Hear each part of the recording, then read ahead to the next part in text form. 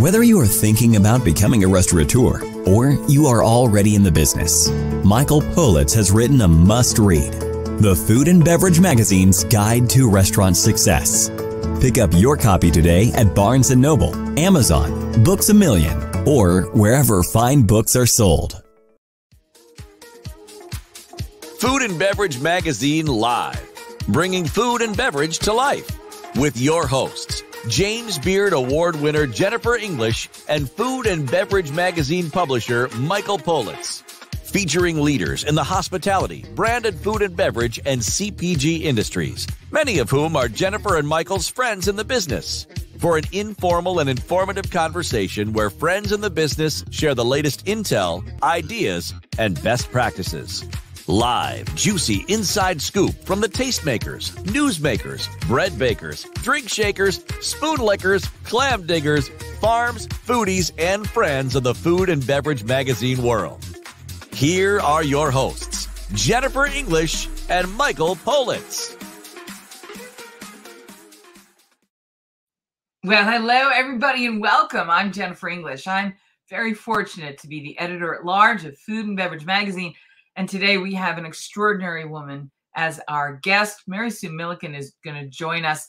And I can't say enough good things to frame and give perspective to the impact she's had on the culinary world we live in today. And most importantly, to the culinary world we're going to be inhabiting as the culinary industry and the hospitality world come roaring back to life following the pandemic. Of course, she's most well known as the award winning chef and author. She's a television personality. She's known for her roles on the Too Hot Tamales on Food Network, introducing a world to the flavors that she is passionate about and recreates at her now world famous Border Grill. And in all her culinary endeavors, she, along with her restaurateur partner, Susan Feniger, have created this pathway for us to fall in love with the big, robust flavors, the brightness, she has been prescient in her career because everywhere we are today is somewhere she said, Look, let's go here together. And she's done an extraordinary job. But it's in her leadership with the James Beard Foundation as a trustee and as someone who has been literally helping us understand that we have got to do better when it comes to women in the hospitality industry and leadership positions from the 5 to 7% that we currently culinarily have to to where we ought to be going and I'm and I'm thrilled for that but it's also in her role that she is helping all of us to grow she's nourishing our consciousness and our intentions to do the best we can for all concerned because we are in fact a service industry. We're here to welcome everyone. All are welcome at our table, but today I'm especially proud to welcome Mary Sue Milliken. How are you? Hi, Jennifer. I'm great. Thanks so much for having me.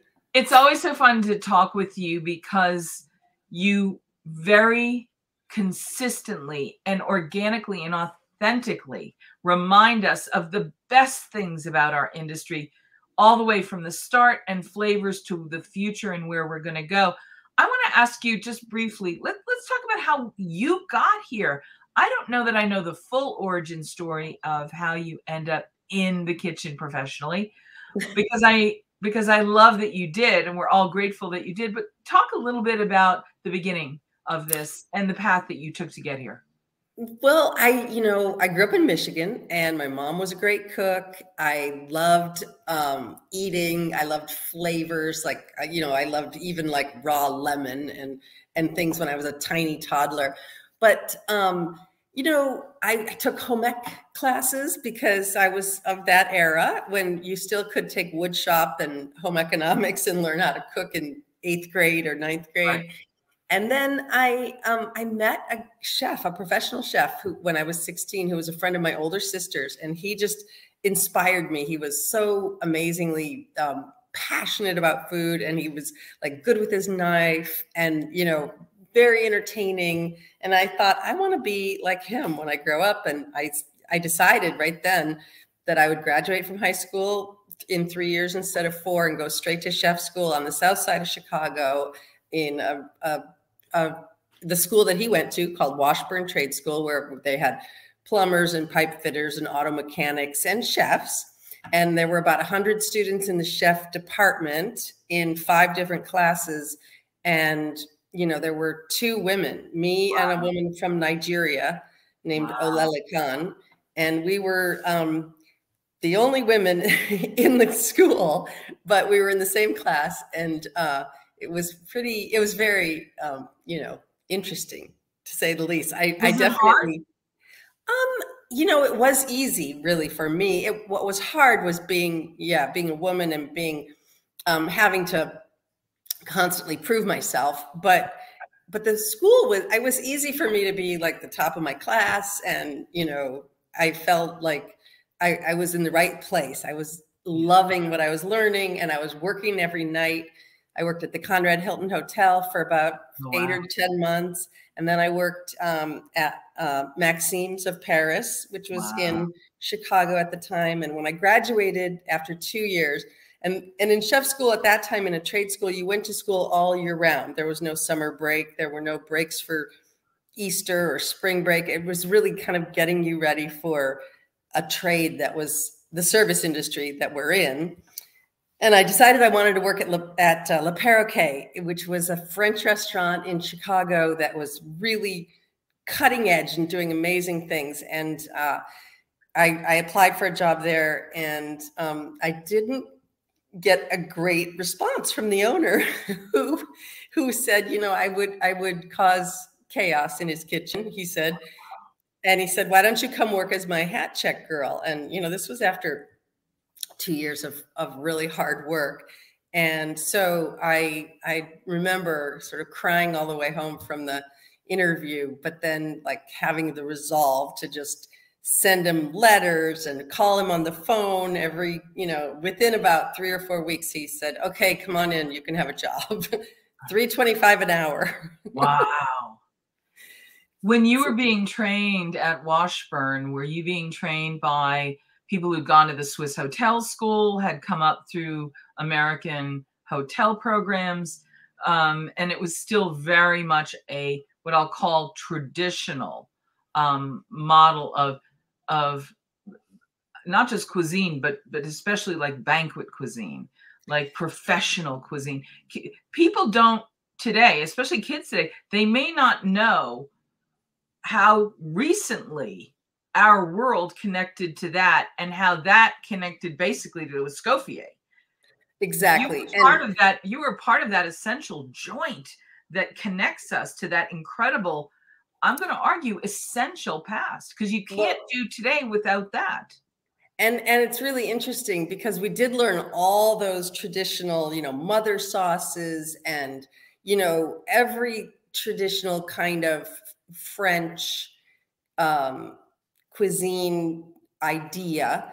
And we even did things like pulled sugar, you know, which is not mm. done anymore. But I, I was really good at pulling sugar in my pastry class. So I learned how to make, you know, all the flowers and ribbons and decorate cakes and, you know, that stuff. I don't, I haven't seen that in, in probably 50 years, but it's a beautiful art when, when people do do it. And, and, eh, you know, when I was working at nighttime, I was always working for for European chefs, the. German chef at uh, the Conrad Hilton.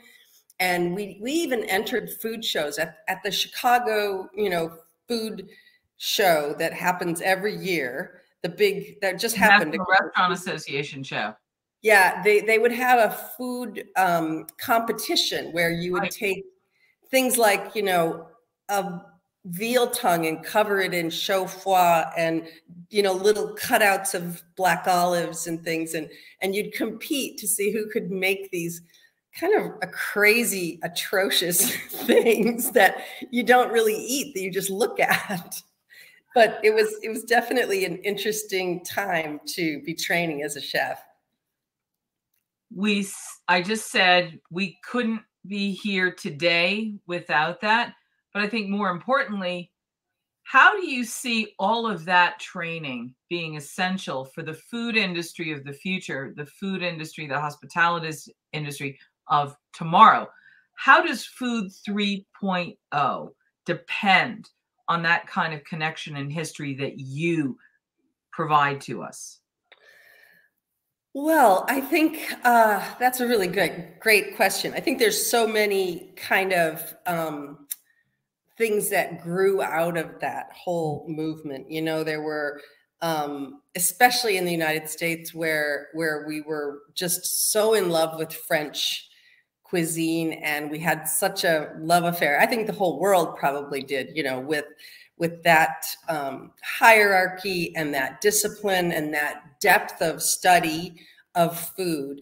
And then I think being Americans, you know, uh, we started to really sort of look around and see all these other things like, you know, Chinese cuisine and Mexican cuisine. And we started to really sort of um, find and build on those cuisines as well and realize kind of an, and kind of it was a real aha moment for me. I remember when I kind of had the idea that this French cuisine that I was so in love with, I went and worked in France for a year and a half in Paris at a two star restaurant.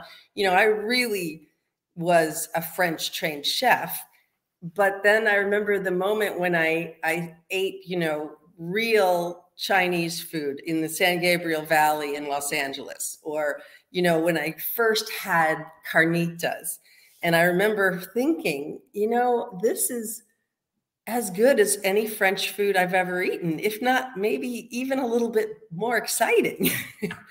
and I, I remember really sort of, I think, as Americans do, we we're we're very open and we're very interested in all different kinds of things. And I think we, you know, really embraced a lot of different things. And you know, of course, Julia Child came up with a a real accessible and um, kind of put a very um, understandable kind of box around French cuisine so that we could all dive into her books and just understand beef Wellington or, you know, coq au vin or whatever. But then we also started to see like Barbara Tropp's book on Chinese cuisine coming out. You know, those were like coming out in the er, late 70s, early 80s. And so we were seeing a change. We were seeing sort of this gourmet revolution, which is what happened in the United States really over that, you know, course of time, the 60s, 70s, 80s. And then, um, and it's really led to what we, uh, you know, the way we eat today, which is so exciting, you know, and then people like Jonathan Gold in, in Los Angeles started really introducing his readership to uh, like you know crazy you know cambodian food or you know it wasn't anymore just like i remember we used to use the word oriental. When i was growing up my mom would say let's have oriental food you know and that was that's what they thought of the orient. It was everything you, you know and and then we started looking at yeah it, it's kind of it's kind of amazing how and it's a really a matter of the world getting smaller and smaller and us getting you know much more in touch with other cultures. Yeah. Um of course the beloved and utterly brilliant jonathan gold.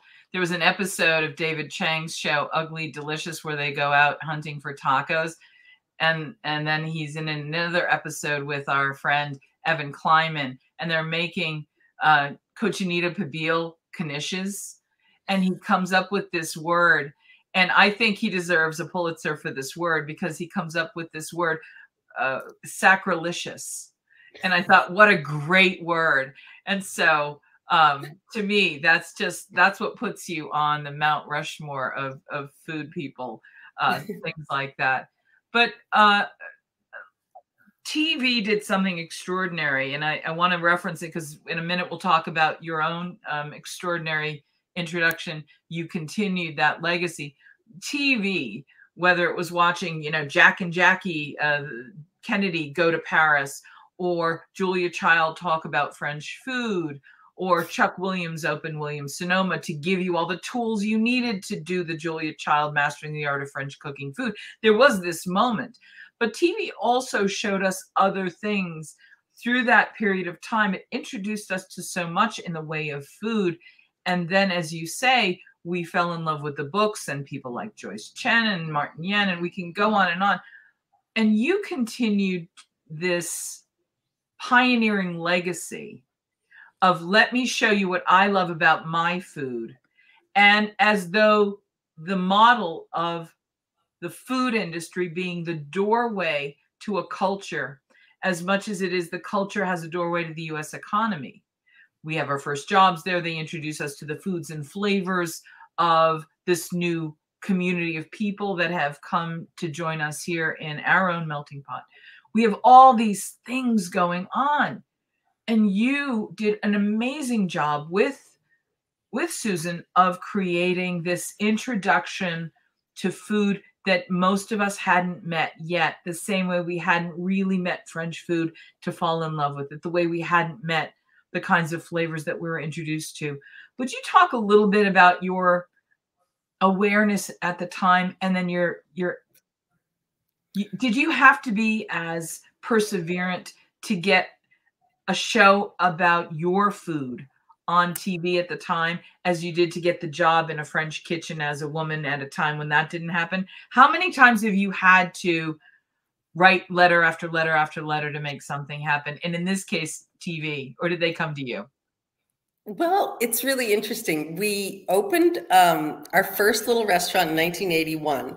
I was 23, and we I'd already Susan and I both worked in France. She in the south of France, me in in Paris we'd work had lots of other jobs we felt really ready to be our own bosses but i think part of that readiness came from being women in a male kind of controlled field and we wanted to be our own bosses even though it meant starting out so tiny we had 900 square feet and one little we had to I wouldn't even move to California until we put the stove in because she was already cooking on two hot plates. out of this little kitchen. She was so determined. We got a four burner stove, and that's when I just said, okay, I'll come and we'll do this together. And uh, City Cafe was born. And I think, you know, I California was so different for me from the Midwest, from Chicago. It was just so liberating. The customers would order anything that we cooked, really. It was kind of amazing. People were so excited about about our food, and whatever we cooked, they would buy. Um, and then Susan took a trip to India, her first vacation in like three years in 1983. And uh, when she came back, we put a bunch of Indian food on the menu. And then I took my first vacation to Thailand. And when I came back, I worked in a kitchen actually in Bangkok that my uncle um, introduced me to the chef. And I worked there for three weeks. And came back and put all these Thai dishes on the menu. But you know, we had such a limited understanding of the Thai kitchen or the Indian kitchen. We had, I mean, I had three weeks in a kitchen, but the dish that I fell in love with most in Thailand was on the street by a, a man with no legs who made in this beautiful big um, mortar and pestle of what we what I now know is a is a, a papaya salad, green papaya salad at the time, I didn't know what a green papaya was. So when I came back, I made Thai melon salad. I made it with three different kinds of melon um, wow. watermelon, cantaloupe, and honeydew. And I made this very spicy peanut, dried shrimp, tons of, uh, you know, chilies sort of dressing. So our whole menu kind of morphed. but, you know, and if I were to do that today, I think people would, you know, really not understand or make fun of it, or they would think, well, why is she, you know, but back then it just made perfect sense because it was what I could find. And then we decided we got so busy. We got a bunch of write ups in Gourmet Magazine, and uh, Ruth Reichl kind of wrote us about us. Julia Child came into the cafe and visited and was a huge champion for us and very, very supportive. And that's when we opened our bigger restaurant, City Restaurant. But the whole menu by that time was global with, you know, Greek dishes and Japanese and, you know, eh, we were boundless. And then we also wrote City Cuisine during that time, our first cookbook. But when we found the bigger location and we were going to move, we didn't want to get rid of this little cafe that had been sort of so good to us and we still had the lease. So we decided we'd turn it into either a Japanese noodle shop or a the perfect hamburger joint or a taco stand. And wow. um, we, we landed on tacos because we didn't want to drive all the way to East LA to get our favorite carnitas tacos, which was our the treat that we would get like once a month and bring back to everybody in the kitchen or on the in our crew. So we went to Mexico and we drove around in a VW bug all over the country for three weeks and studied the food and came back with our little notebooks full of inspiration and opened our first border grill. Wow. And we had to actually go down to the farmers or to the big giant uh, produce market in downtown LA. And we had chipotle chilies in our suitcase that we brought back that were, you know, that smoky flavor. And we were asking every vendor, have you ever seen a chili like this? you know, this was 10 years before Chipotle opened. And so we we definitely um and but honestly then we wrote mesa mexicana and to get to the answer of your question it's a long-winded answer but we um, went on the Food Network at, to to promote our book on book tour, Mesa Mexicana, and that was all of our Mexican recipes. And they invited us back to be on. Um, it's I think it was called Chef of the Week or something. So each you'd go back and you'd tape in New York.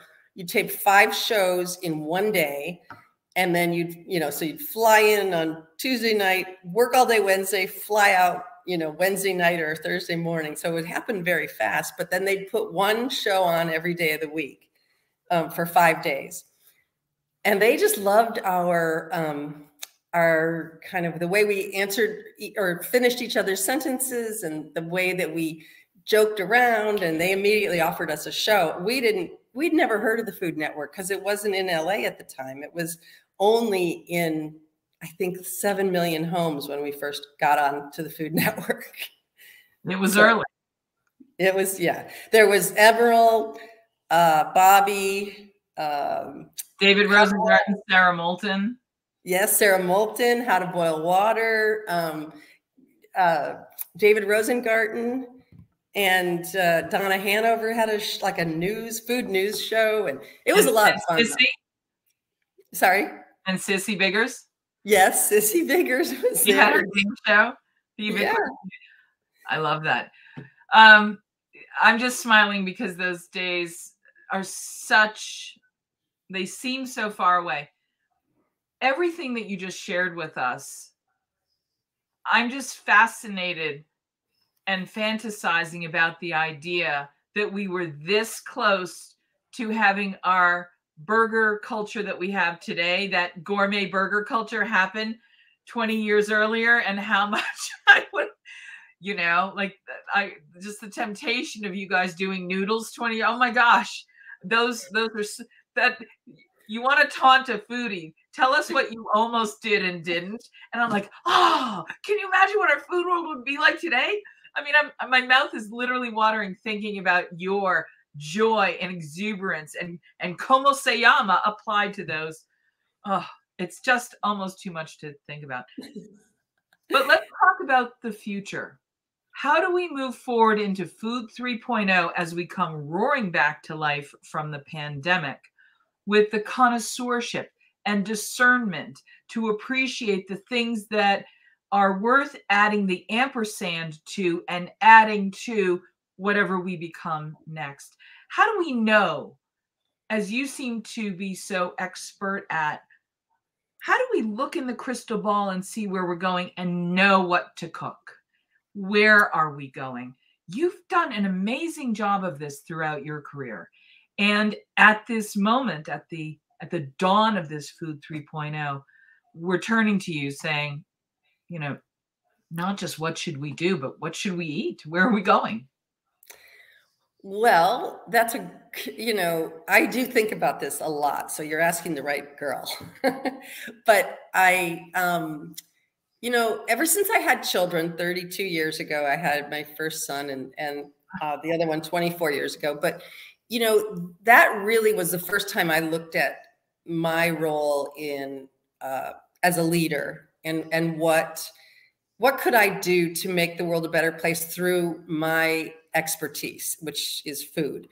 And I really, you know, started getting involved in being an activist around different things. In fact, that's when that's when we I, I called KCRW and said, um, I want to have a food show about um, this is when Alar on apples yeah. was reported and Meryl Streep went nuts about, you know, she had young kids too. And I think the idea that kids can't eat an apple and be safe was just, you know, so abhorrent.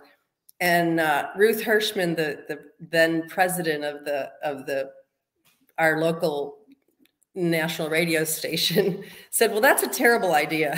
you don't want to, you really don't want to make people be alarmist about people's food supply. But why don't you come in on Saturday, you and Susan, and you can have your own one hour, you know, radio show all about food and talk about whatever you want. And you can weave in a few, you know, kind of messages here and there. And that was when Good Food was born. We, we yeah. did that show for the first five years yeah. before Evan took it over. And that's, it did actually uh, groom us for television, I think, because we were starting, we had no idea what we were doing.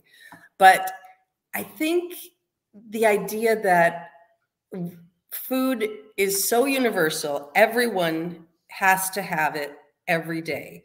And so the, the idea that we could have impact, social impact through food, I think has always been really, um, you know, close to my heart. And it's made me think a lot about our, our food systems, about the way we eat, the way we make choices about what we're going to eat. You know, we started um, early on in the 80s with a heavily vegetarian or vegetable menu. We've had, we have an 80 20 kind of philosophy that 80% of the food that we cook is going to be plant based and 20% will be protein based. And we'll figure out a way to make it still look, you know, and, and compete with, you know, the, the steakhouse or whatever that where people, and back then, people would get, you know, a 16 ounce steak and five little snow pea pods on the side. and they would think that was dinner if you were like in Boston or somewhere. I remember. And by the way, and by the way, you're you've always had this 100% delicious. I mean, you could say we were 80% delicious plant based. We were 20% delicious meat based. Well, and it was more important to be delicious than anything else. And when you start with delicious, you don't focus as much on the end point as you do the delicious. Is it yeah. a plant or is it a a face? yeah.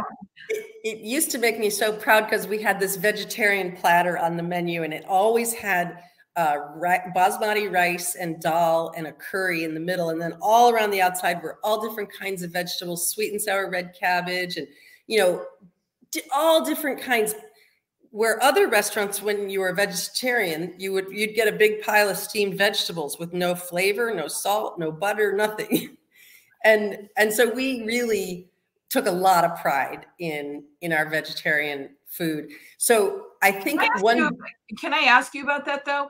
When you were talking about vegetarian food how much of that classic french train were you bringing to the preparation of these delicious plates? A hundred percent all of our French training has been incorporated into all of our Mexican food, all of our cooking, because that's we we, we really got that Escoffier sort of baseline understanding of how to braise meat. You know, the first time we went to Mexico and and cooked with some Mexican old, you know, abuelas, we were kind of, you know, they I think they wanted to impress us, so they would take like a pork loin and then braise it and we would be like oh no that's not a good idea. But if we're going to braise pork we're going to braise the butt or you know shoulder.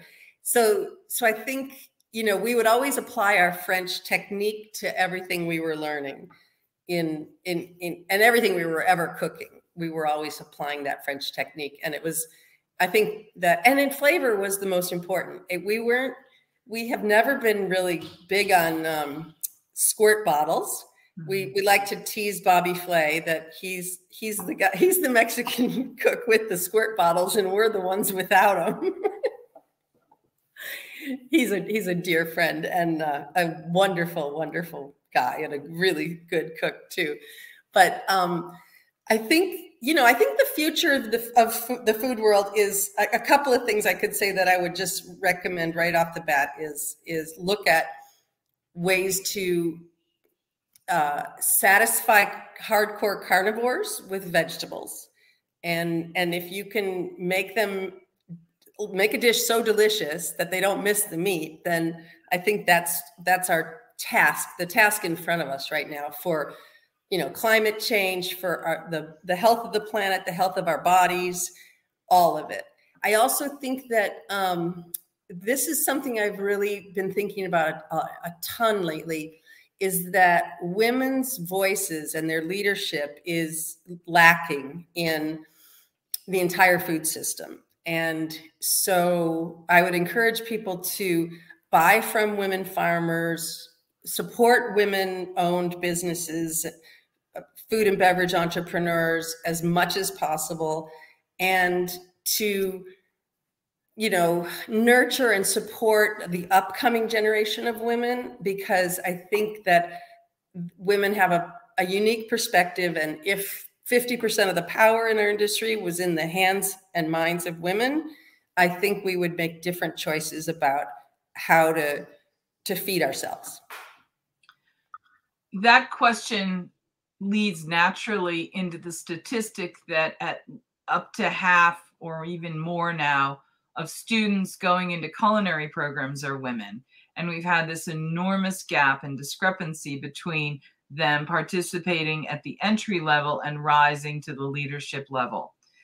It makes me wonder how many men would get into an industry where they knew they were only likely to get, you know, five out of a hundred of you are going to get to leadership. Um, and how unattractive that industry might be for them. Uh, and what does it say about women who got into the industry, knowing that was the prescribed at the moment potential future, and still were not thwarted or deterred by that? It's a whole conversation for another show for sure. And as a pioneer in culinary broadcasting, of course, as people who've been doing this now for over 25 years, can you believe we're still talking about food and there's still so much to talk about? But of course, you mentioned something that I think is essential for us to address, and that is the fundamental nature of food as the epicenter of our human experience. Given that, how in Food 3.0 in the future, as a restaurateur, as someone who feeds people, how important and maybe unchanging are some of the most essential elements of food. And what do you think a few of those things are that we can keep in mind as we build a future in food? Well, I'm, I, I guess, I'm, I'm not exactly sure how to answer your question. Sorry. Um, can you ask it again? Let me let me try this again. Sorry, I was just. Uh, I apologize. I tend to ask good questions at the same time because I see how they connect together, and I give you the links of the chain together. Sometimes, it's my it's my it's my uh it's my uh, passionate, zealous Achilles heel when it comes to questioning. We're moving into the future of food. Food is the epicenter of human experience. There is something fundamental, as you said, about us eating every day. In the future of food, because of that, because it's so fundamental, because it's so essential, I'm going to imagine that as a restaurateur, there are some very fundamental things, very essential things that we will need to have that will not change in the future of food? Maybe the simplest way to ask this is what's not going to change about being a restaurateur in the future of food? Well, or what are the things you don't want to change? Yeah. Or make sure we don't lose in the future I, of food? That's I understand. Great question. No, and it's certainly not you at all. Um, but I, I, think the most important thing that we um, provide society is this social fabric of our communities where people gather and sit around a table and discuss things and come up with ideas or you know make plans you know solve problems. And i think that's what restaurants they restore you. When you go to them you come away feeling restored. So that's the part that i don't think we're going to ever lose. That's part of our human nature. And I think what is so important to our communities are, are all the little restaurants that that tie us together and keep the lights on at night and and keep the the communities vibrant. So I think whether and I think what's going to what is going to change or needs to change is portion sizes need to get more realistic. Waste has to food waste has to be eliminated. Um, packaging needs to change 150%. I was in India right before the pandemic started uh, studying the school food program um, with Share Our Strength, who I was a longtime board member, and we do a lot of school feeding programs. And they serve 40,000 children a day out of a kitchen with pots the size of a, a room. And they do it with zero packaging, zero. They don't have any plastic, no paper, no completely unpackaged food. And they do, and it's delicious and nutritious and amazing. So there's a lot for us to learn about, you know, how we get the food to you. But the, what's not going to change is we still need, whether we're second graders in school or whether we're, you know, executives at a big music company going out for lunch. We need those places where we can sit down at a table and you know in and kind of shut out the rest of the world and enjoy food and and people's company. And what do you make of the statistic that 60% of the food that we're going to be eating by the end of the decade is going to be delivered? And by virtue of saying the ghost kitchens and cloud kitchens and virtual kitchens the inevitability of those are going to essentially put the front of the house on the endangered species list. Not not to mention the packaging issue which i which was one of the biggest heartbreaks for me of the pandemic was taking you know back pedaling so far into using more plastic than i've ever wanted to use believe me. Um so i guess i i still don't i still believe people i mean first of all 60% of the food we eat coming packaged and being delivered to the home that's surprising to me but maybe that's maybe that's right. Um, i guess i still think there's going to be a huge need for people to gather and um, you know spend time breaking bread together even if maybe they have it delivered to their space or whatever but i do think that's just going to be an essential part of the human you know daily life. So i guess um, it's going to be an interesting transition that's for sure. It's going to be very interesting. And food is going to have to cost more money. Everybody's going to have to really get used to the idea that food is expensive. Food it should cost Good 30% sorry? Good food especially. Yes but if we want to preserve you know our food systems we have to pay people more. We have we can't continue to eat artificially cheap food on the backs of immigrants and single parents and and you know the formerly incarcerated who are working three jobs in order to just pay rent. I think we, we really those things the pandemic laid bare and and and there's a lot that has to be looked at there. So in europe a lot of people think they should they budget for spending 25 or 30 percent of their yearly salary on food. I don't think that's a very common uh, way to look at food in the united states. We're, we're so used to the subsidized kind of food system that we have that we're we really have a, a, a little bit of a warped view of the value Listen, you're being extraordinarily generous in spending so much time with us. And I am utterly and shamelessly greedy to have these conversations with you, for which I'm enormously, enormously grateful. But it is James Beard Foundation weekend, and we're celebrating the best in the business again. And this year, the James Beard Foundation Awards are back in Chicago the media and broadcast awards were yesterday. The big awards, as they say, uh, are tonight. And they look very different than they have in years past. I think they're much more reflective of the food world we live in today. we live in a food world today with fewer tablecloths and fewer lots of things like tablecloths. And we're literally setting a bigger, wider, more informal table, and everyone is welcome at our table. And cuisine, as it's being defined as the as the recognition of the standard bearers in our industry for the excellence that we see everywhere, has required us to redefine and reappreciate what could be considered excellent. And we've done, I think, a good job of that under your leadership and your colleagues. Can we talk about the 2022 James Beard Foundation Awards?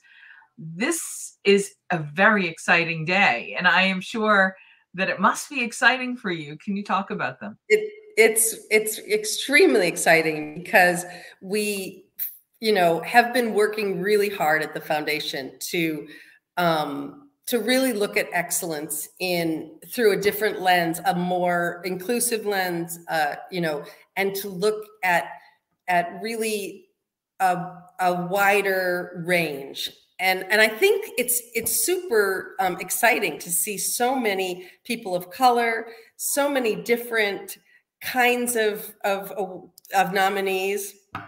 It's it's you know from young to you know well seasoned.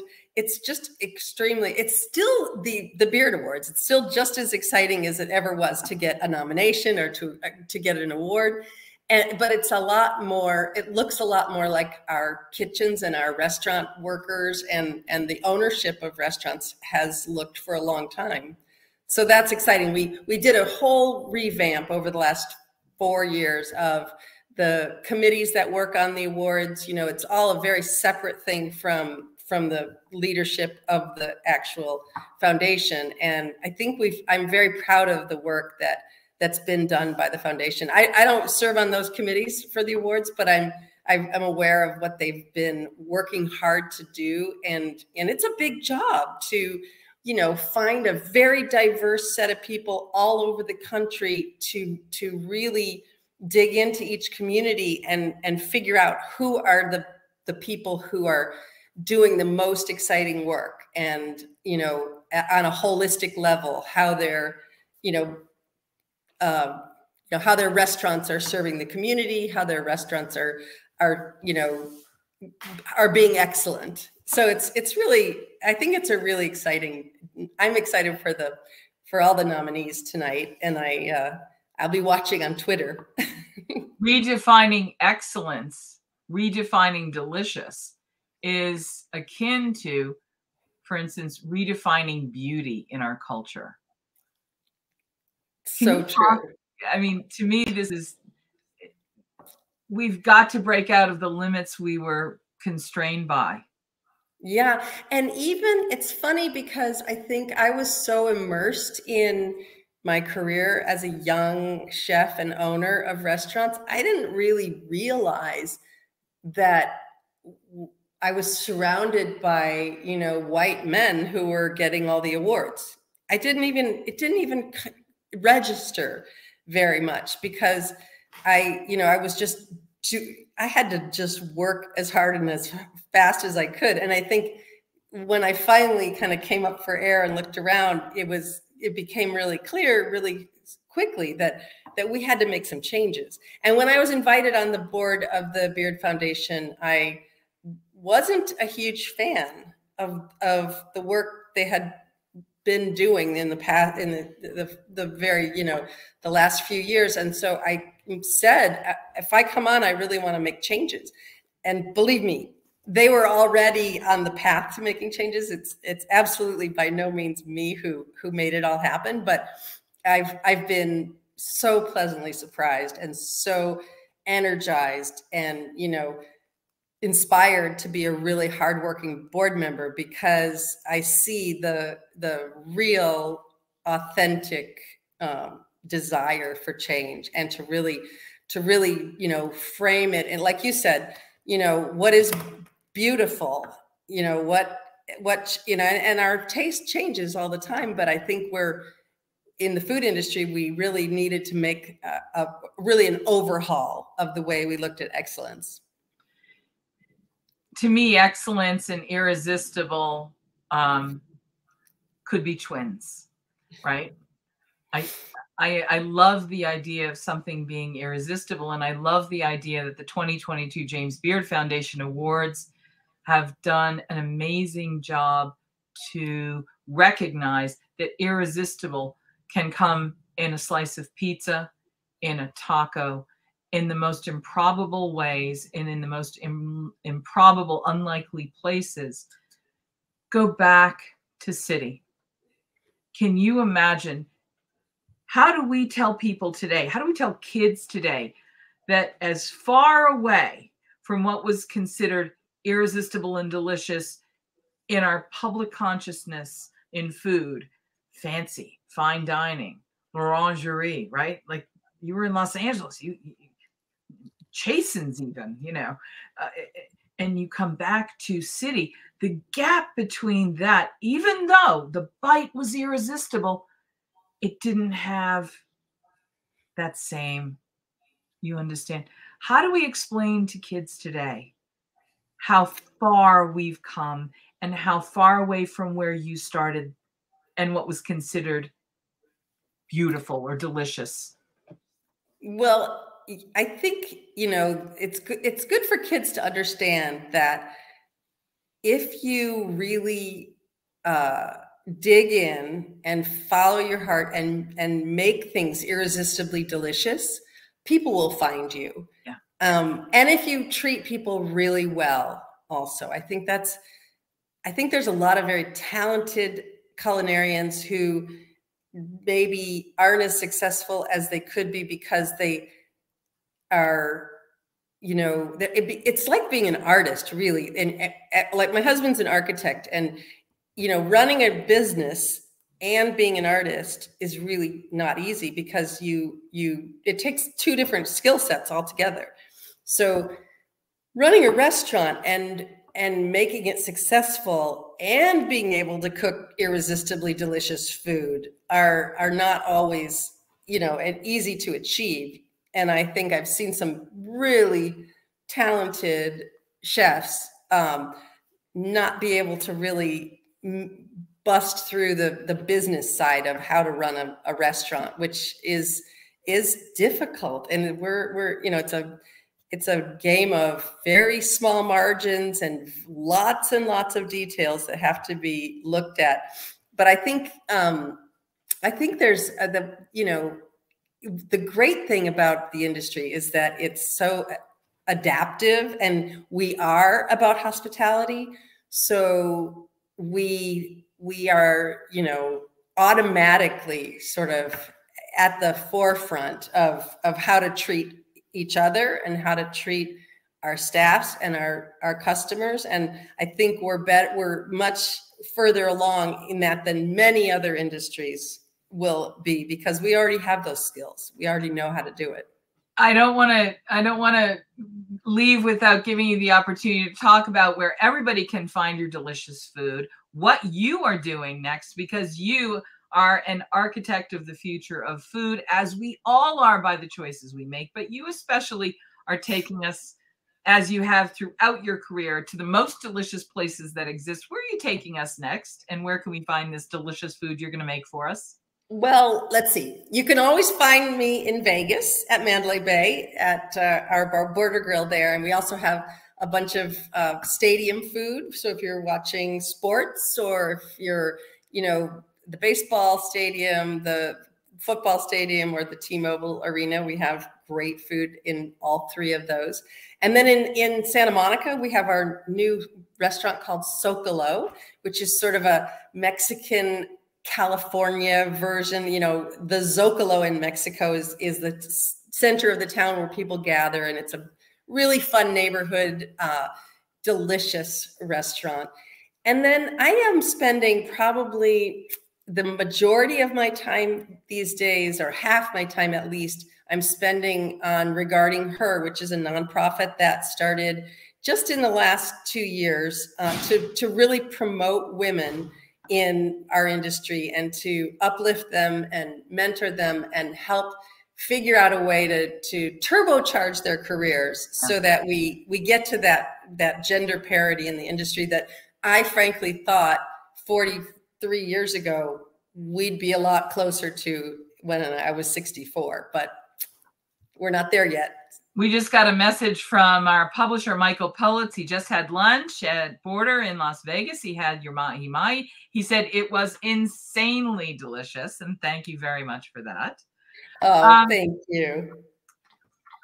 What one or two things, as our friend in the business, have you discovered that you want to turn us on to? Because now is the time where we're changing seasons and I love that you are always one of the most food curious people I've ever known.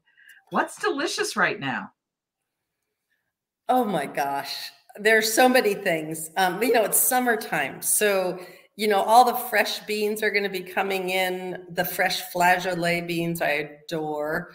And I love to make bean salads in the summertime where, you know, I get the fresh beans and, or fresh lima beans are also amazing. And I cook them and then I mix them with lots of fresh herbs and shallots and lemon and olive oil. And um, what else? I just, we, we've been, I've been really into eating a lot of um, chicories, but they're, they're kind of maybe a, few, a little, a couple months ago or a month ago, but uh, in, including um, puntarella. Have you have you had that? It's so delicious.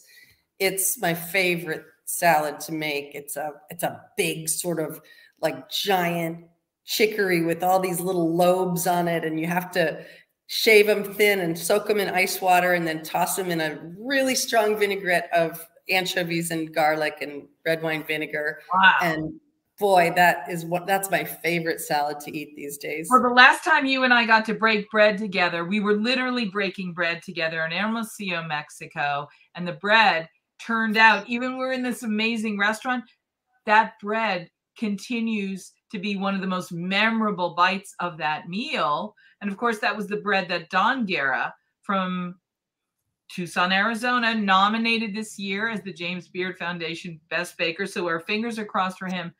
But I love that our most recent shared food memory was breaking bread together. And I'm just going to thank you for everything you do for our industry, for your inspiration, for the generosity, your leadership by example. But most importantly, for girls and young people of all stripes you are somebody that we see. If I can see it, I can be it. And you give me the example of what's possible. Not only can a woman do this, but all young culinarians have to look at your example of your generosity and participation and courage to change and lead and speak up. You've made this incredible culinary industry and hospitality industry so much better, more delicious. And I'm so incredibly grateful that you took all this time to be with us today. Thank you so much. Oh, Jennifer, thank you. It's been such a always it's a pleasure to to see you, to talk with you, to brainstorm and and you know think about the deeper ways that our industry affects everyone. I, I always enjoy myself. So thank you. I'll I'll say this in closing that ours is a service business. We are in service to humanity. We're in service to your delight and your nourishment. And I love that we continue to serve. And if there's anything in addition to the hospitality, we have to remember that we are building a future in which we will continue, God willing, to be in service. So thank you. Whether you are thinking about becoming a restaurateur or you are already in the business, Michael Politz has written a must read The Food and Beverage Magazine's Guide to Restaurant Success. Pick up your copy today at Barnes & Noble, Amazon, Books A Million, or wherever fine books are sold.